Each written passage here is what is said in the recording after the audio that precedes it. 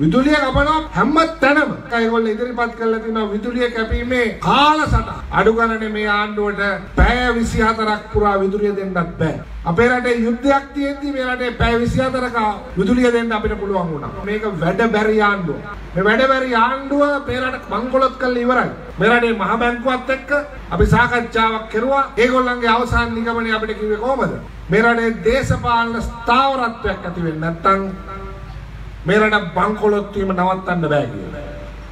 හරි භයානක තත්ත්වයක්. ව්‍යාපාරිකව මෙතන ඉන්නව මුස්ලිම් ව්‍යාපාර කරන අය උන්නාලගෙන් ඇහුවොත් කියයි අපේ රටේ ව්‍යාපාර වල තත්ත්වය මොකද්ද කියලා. බඩු ගන්න අය ගොඩක් මෙතන ඉන්නවා. ඒගොල්ලන්ගෙන් ඇහුවොත් කියයි බඩු ගන්න සල්ලි තියනවාද කියලා. ලංකාවේ ඉන්න ලොකුම ව්‍යාපාරය වලකට ගිහිල්ලා ඇහුවොත් කොහමද ඔයගොල්ලන්ගේ බිස්නස් කියලා? සේරම කියයි බිස්නස් නැහැ කියලා. මේක තමයි ඇත්ත తত্ত্বය. මිත්‍රෝන්‍ය මුළු ආර්ථිකයම ඉවර කරලා තියෙනවා. බදු පිට බදු ගාලා ඉවරයි.